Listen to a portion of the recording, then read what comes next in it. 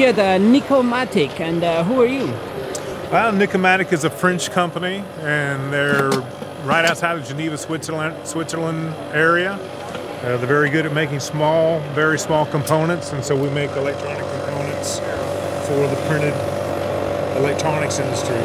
So Everything this, from connectors to uh, LEDs, metal domes, that type of thing. Is this uh, mass produced?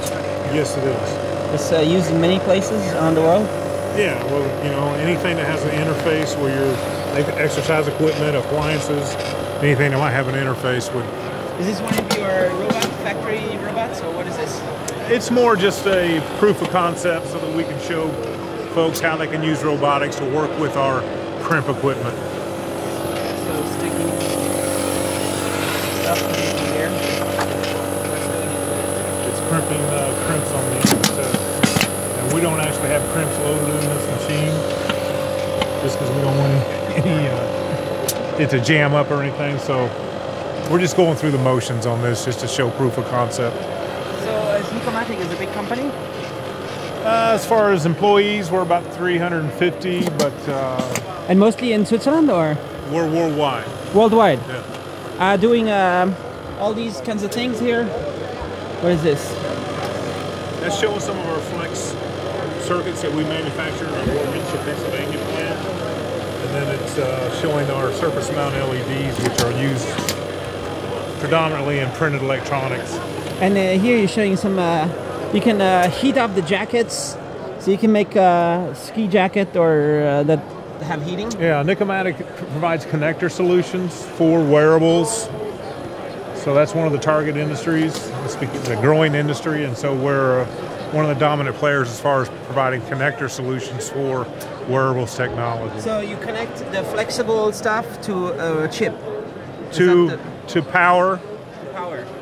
most often to power. Sometimes it goes directly to a PCB for data download and that sort of thing. Is it hard to do a connector? It is. It's one of the biggest challenges Yeah. So in that industry. In the in the whole flexible electronics, printed electronics industry, there's a lot of printed stuff, but they need to connect to batteries or to another SoC chip. Or a manufacturer. PCB, yes.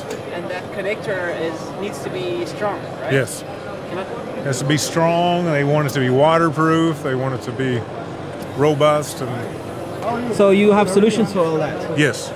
All right. And you're already making millions of those? Oh yeah. Oh, yeah? We've been in business uh, 40 years. Doing this kind of stuff already. Yes. Yeah. So what do you think about the future of the printed electronics business? I think it's outstanding, especially with the, the oncoming markets of sensors and, and wearables. So that means you're going to be very busy uh, doing all kinds of solutions for that. Yeah, the main our main business for years has been supplying membrane switch manufacturers with interconnect solutions. So like uh, those kinds of uh, connectors?